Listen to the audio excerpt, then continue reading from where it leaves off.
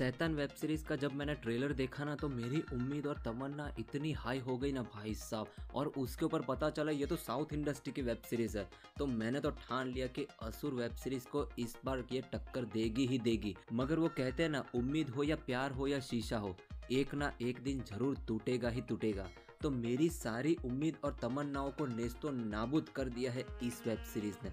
हालाँकि ये साउथ की वेब सीरीज़ है तो इसके बारे में बुराई हम नहीं कर सकते, क्योंकि हम सबको तो साउथ की वेब सीरीज़ बहुत पसंद आती है। फिर चाहे उसके अंदर गालियाँ हो वायलेंट सीन हो भर भर के अभद्र भाषा एडल सीन ठुक्कम ठुक्काई चुम्मा चाटी ठुक्कम ठुक्काई हो, मगर साउथ की इंडस्ट्री की वेब सीरीज़ या मूवी है तो उसको सर पे चढ़ा लो यार। ऐसा बहुत सारे लोग सोचते मगर मैं ऐसा नहीं सोचता। मेरे लिए तो जो सही है, वो सही है, जो गलत है, वो गलत है। फिर चाहे वो किसी भी इंडस्ट्री की क्यों ना हो।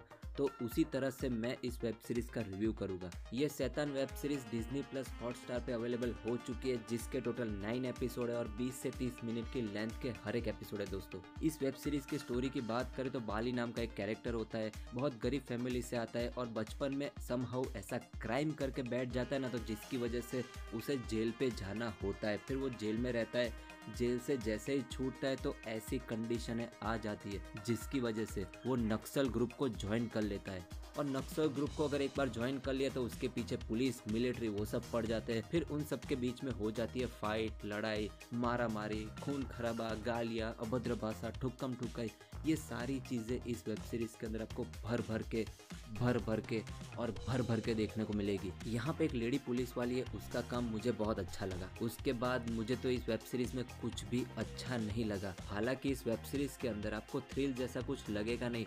लगेगा तो सिर्फ़ और सिर्फ़ एडल का तड़का और गाली गलोज। एक्शन के नाम पे इन लोगों ने मज़ाक किया है। स्टोरी तो इसकी ठीक ठाक है। प्रोडक्शन वैल्यू तो घटिया में से घटिया है। और एक्टिंग तो सबने ठीक ठाक ही की है दोस्तों। सबसे ज़्यादा इस वेब सीरीज़ में अगर कोई उभर के आता है ना तो वो है इसकी गालियाँ और एडल सीन और उसके ऊपर इतने ब्रूटालिटी और ऐसे ऐसे सीन कि जिसको ब्रूटालिटी देखनी पसंद हो ना उसको भी देखनी पसंद नहीं आएगी इस वेब सीरीज़ के अंदर। हालाँकि ये साउथ की वेब सीरीज़ है, मगर इसके अंदर इतनी यार, अभी क्या बताओ यार? अगर ठीक से इसे एग्जीक्यूट किया होता स्टोरी पे ध्यान दिया होता, इसकी राइटिंग पे ध्यान दिया होता तो शायद ये वेब सीरीज़ मास्टरपीस बन सकती थी। मगर वेब सीरीज़ है दोस्तों तो वेब सीरीज़ में तो गालिया और एडल्ट इन दोनों के बगैर तो ये लोग बना नहीं सकते। तो फैमिली के साथ ये वेब सीरीज़ आप नहीं देख सकते दोस्तों। तो दोस्तों, ये था मेरा रिव्यू सैतान वेब सीरीज़ के बारे में। मैं तो हंड्रेड परसेंट डिसअपॉइंट हुआ इस वेब सीरीज़ से। अगर आपको फिर भी देखनी है ये वेब सीरीज़ तो जाओ डिजनी प्लस हॉटस्टार पे, वहाँ पे जाके आप देख सकते हो। और अगर आपको मेरा ये वीडियो अच्छा लगा हो तो लाइक शेयर सब्सक्राइब आपको जो सही लगे, वो कीजिएगा। Thanks for watching